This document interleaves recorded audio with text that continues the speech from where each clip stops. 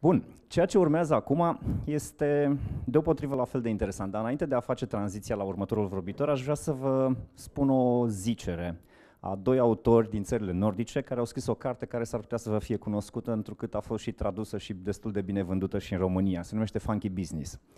Și autorii spun în felul următor, viitorul în ceea ce privește competitivitatea nu va fi legat de respectarea regulilor, ci de încălcarea lor și crearea unora noi. Eu reformulez treaba asta spunând că dacă te uiți în gura avocatului, rămâi în evul mediu, că nu o să ieși niciodată din ceea ce zicea biserica să faci și să nu faci. E, mutăm discuția într-o zonă în care, în fapt, ceea ce s-a întâmplat în 1998, un uh, inginer de IT din Cluj s-a gândit că România poate fi o alternativă pentru inginerii de IT. Voicu vine și ne împărtășește astăzi un exemplu personal care poate fi sumarizat într-o expresie celebră, celebră. Ai reușit? Continuă. Nu ai reușit? Continuă. Voicu, ai legătura. Mulțumesc, Răzvan. Uh, mulțumesc tuturor că sunteți aici. Este, cred că a treia oară când sunt în uh, Iași, de la, în acest an. Arops a deschis un office în Iași uh, și are câteva proiecte interesante implementate în Iași. Nu știu câți dintre voi mergeți cu sistemul de transport în comun. Ridicați o mână, de curiozitate. Cam 30% să zicem. Deci, probabil, uh, biletele de călătorie le cumpărați cu niște automate de bilete care au fost uh, instalate de către Arops. Toată soluția a fost dezvoltată de Arops, iar sistemul a fost uh, produs, evident, în China, pe bază unor specificații adaptate pieței românești. Dacă am uh, spune că și Apple-ul produce în China, probabil suntem la același nivel. Deci producem amândoi în China. Asta ar fi singura comparație care o văd pentru moment. Dar aș uh, vrea să încep cu o întrebare. Câți dintre voi lucrează în IT din această sală? Ok, câți dintre voi vă doriți să fiți antreprenori în IT? Mai mulți, mai mulți. Foarte bine. Și aș vrea să încep uh, prezentarea mea cu un mic film uh, care sper să vă transmită ceva.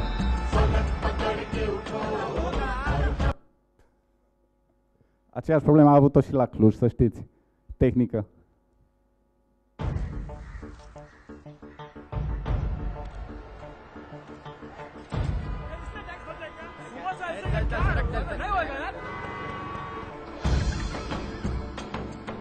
आपके लिए उस पार कार का इंतज़ाम किया है sir sir आइए sir ए, ए, चल चल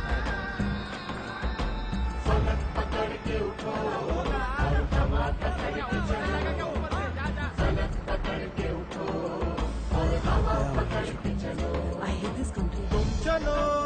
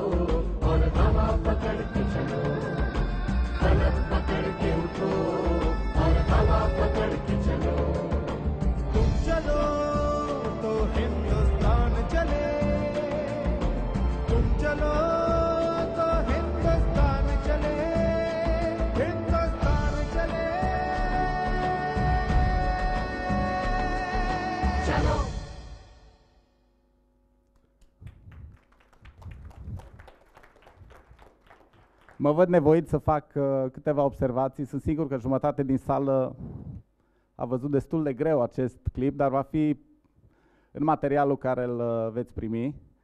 Uh, este vorba de un copil care setează un trend. Cam asta este un antreprenor. Și aș vrea să subliniez acest lucru. Deci un copil care setează acest trend uh, în uh, India, surprinzător sau nu, cei din IT știți ce este India, uh, iar uh, restul ajung să-l urmeze și să rezolve o problemă până la urmă. Foarte simplist asta ar fi. Uh, voi începe cu un proverb. O călătorie de o mie de mile începe cu un prim pas. Și aș vrea să rețineți și voi sublinia câteva din uh, aceste citate ca să le rețineți, pentru că îmi doresc să aveți succes. Iar uh, deși acest, uh, această prezentare este legată de viziune și de viitor, eu aș vrea să mă ancorez în prezent și aș vrea să prezint uh, probabil evoluția produselor noastre ca să fie pe înțelesul tuturor și discutăm de produse în stadii de viață diferite. Probabil eu trebuie să apăs. Deci, uh, firma, am înființat firma în 1998, uh, iar uh, firma este ca multe din firmele românești, axată sau a pornit ca o firmă axată pe outsourcing. Dezvoltarea de un fel de loan personalizat, i-am putea spune, și cei care fac acest loan să mă scuze, dar exact este, cam asta ar fi termenul, care a fost dus de India la un nivel extraordinar. Ce am făcut noi, în momentul în care, în 2002, când am avut, uh, s-a întâmplat criza, dacă mai țineți minte, cei care mai știți uh, .com-ul, noi am uh, decis să lansăm un produs propriu. Ca primul produs a fost un produs care pot să recunosc că a fost un eșec. Dar noi am învățat din el și am lansat un al doilea produs care a avut un succes parțial care este un produs de, monitor, uh, de mobilitate, o soluție pentru automatizarea forței de vânzări pentru firmele de distribuție. Este un produs folosit la ora actuală de peste 4.000 de agenți în toată țara, în România. Iar uh, acest produs a avut uh, următoarea evoluție. Am avut lansarea în 2003, am avut o perioadă de creștere în 2005, am ajuns la maturitate în 2008 și după maturitate am avut o scădere. Pe, per, pe fondul crizei am avut o scădere pe care probabil multă lume s-a lovit. Iar în 2011 am avut o relansare prin uh, lansarea acestui produs pe o nouă platformă Android. Cam asta ar fi ciclul de viață a produsului, în zona de software. De la zona de creștere ajungem la maturitate, declin, relansare și, dacă se poate, o nouă creștere. Evident, ă, aș fi vrut să suprapun și graficul, graficul de profitabilitate aici, dar vă dați seama că în zona de maturitate, în zona de maturitate acolo se face cel mai mare profit pentru, în un, într-un produs software. Iar în acel moment, noi am decis să lansăm următorul produs software, uh, sistem de monitorizare parc auto. Acest sistem uh, a pornit în 2006, am investit uh, mult în uh, anii de criză, iar uh, în 2012 avem uh, aproximativ 3 milioane cifre de afaceri uh, generate de acest produs. Este un produs uh, care se folosește tot mai frecvent. Avem un client de peste 1000 de mașini monitorizate care dovedește că piața poate să crească și în momentul crizei. Asta vreau să vă subliniez. Este un produs care ajută firmele să-și reducă costurile și avem o creștere în timpul crizei.